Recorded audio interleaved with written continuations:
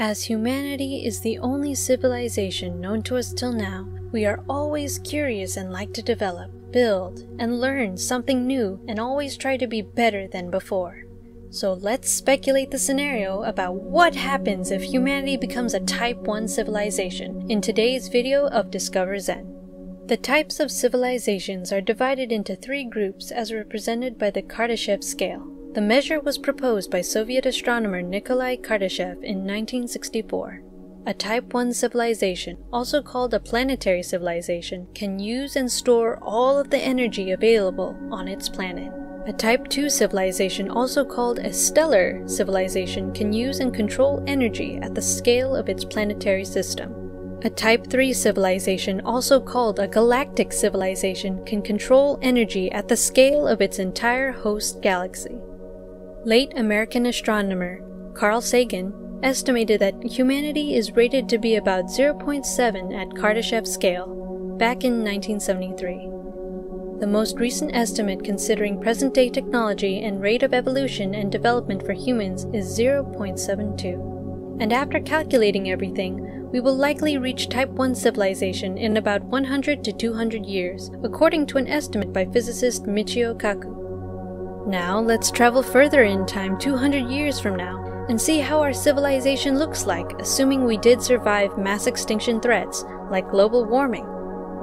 Even volcanoes, earthquakes, storms, tsunamis, and all possible natural disasters are all predicted within 100% accuracy.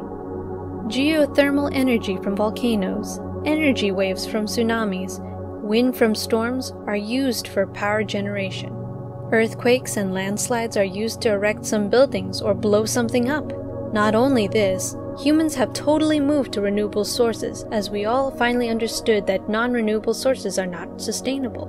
Renewable sources in Type 1 civilization include 100% use of the sun's energy reaching the Earth.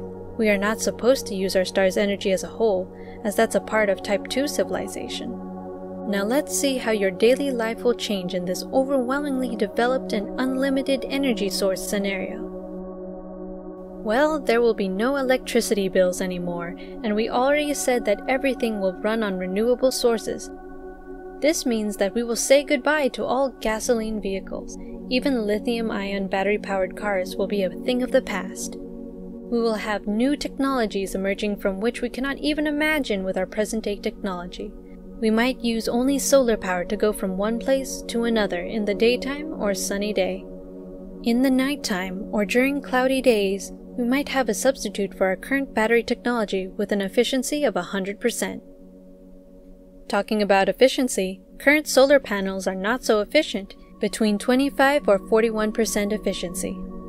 Consumer grade solar panels are even worse, but in the Type 1 civilization scenario, we might see the solar energy efficiency to be 100%. Energy will be as accessible as oxygen is available to us, and our civilization will develop in a very sustainable manner.